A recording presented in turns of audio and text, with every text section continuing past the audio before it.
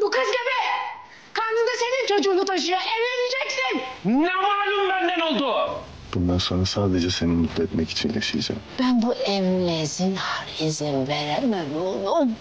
Evladın yaşında bir kız. Senin yüzünden şimdi toprağın altında. Senin yerin cezaevi.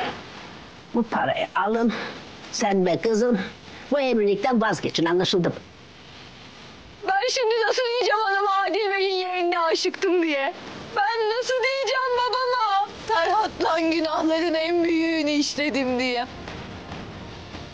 Benim adım Serhat Demirkan.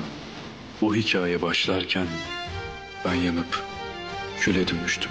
Promisiunea Sâmbătă și duminică de la 10 seara la Canal D2